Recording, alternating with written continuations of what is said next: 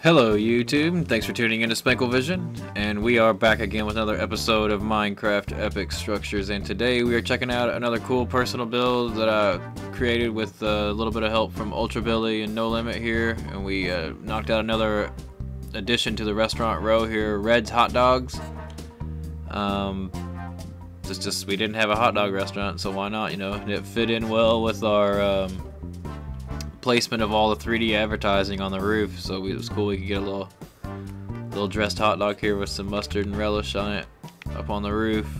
Giant giant style, why not? You know, just everything else is we got big food everywhere else and we uh, came up with a cool little Red's hot dog truck and I'll make a tutorial and show you guys how to throw this uh, hot dog truck into your world.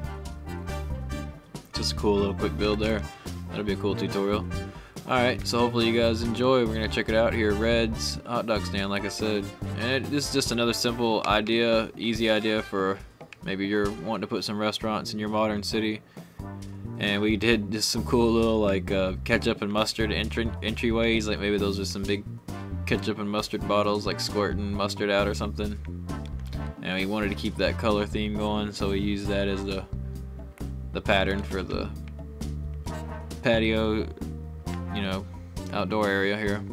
You could, this is a outdoor indoor hot dog establishment, so you could come up here and if it was nice out, you could just order your dogs or whatever you want to get from the little side menu or side windows here, or if you know it was raining or you just you know you you know just cause it didn't have to be summer to get a hot dog, you could just come inside and dine in here. We wanted to keep the same color theme. I thought this just turned out, you know, just it's just another nice simple build. This is easy. I mean, anybody can make this type of stuff. You know, it's just the little details you throw in there that really make it that much cooler. You know, just got little mustard, ketchup, and relish dispensers.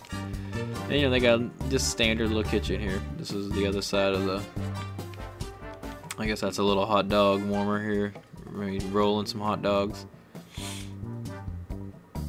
kept little flowers, the you know, some waste bins here. All right, got a nice little parking lot. You know, just really fits in here. It was a nice little uh, spot of land that really needed to be filled in, and we got it. I think this is about as good as it's gonna get for this little plot of land here.